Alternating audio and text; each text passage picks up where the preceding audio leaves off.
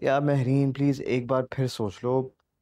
I don't know why मुझे कुछ ठीक नहीं लग रहा। देखो अगर एक बार बात आगे बढ़ गई ना तो फिर हम हट नहीं सकते। परेशान तो सभी है ना? लेकिन अंकल को इस सिचुएशन से निकालने के लिए दूसरी शादी ही हल है। बट ऑनेस्टली स्पीकिंग तुम्हें क्या लगता है कि नरगिस आंटी डैड के लिए एक सूटेबल चॉइस है कि वो आकर उन्हें संभाल लेंगे एवरीथिंग विल बी फाइन मुझे तो ऐसा ही लगा। तभी तो बात की है।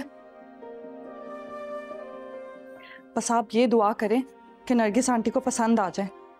हम सब भी और वकार अंकल भी।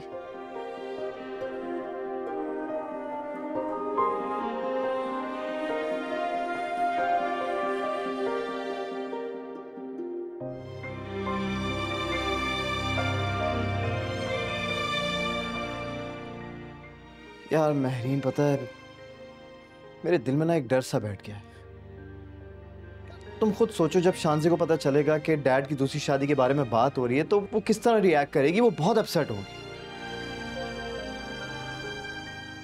सुहेब ये तो आपको लगता है ना?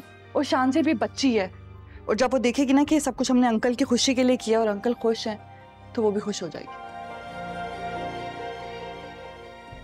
हाँ यार हाँ, शायद तुम ठीक कह रही हो। ठीक ही कह रही हूँ। अब मैं जाकर अलीसे को देख लूँ वो रेडी हुई है या नहीं।